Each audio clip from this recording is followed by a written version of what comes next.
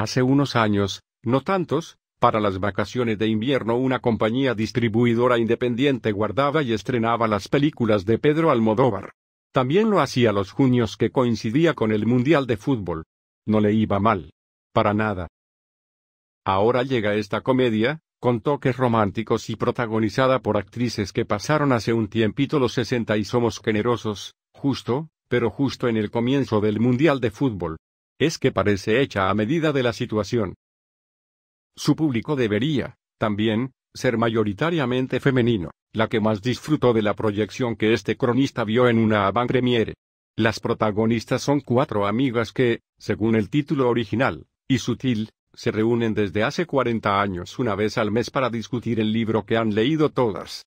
Es un club de lectura, pero por supuesto como todas tienen más que un buen pasar, se reúnen en un living, con buen vino, masitas, delicatecen o lo que fuera y hablan de sus vidas. Son interpretadas por Jane Fonda, a años luz de Clute y de Regreso sin Gloria, cuyo personaje hace 40 años que no ve al de Don Johnson, a años luz de División Miami, pero a nadie le importa, y regentea su propio hotel en Los Ángeles.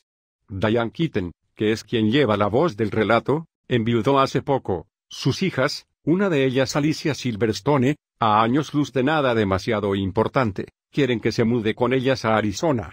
En un viaje en avión conoce tras apoyar, sin querer, la mano en su entrepierna al personaje de Andy García, a años luz de Los Intocables y El Padrino 3.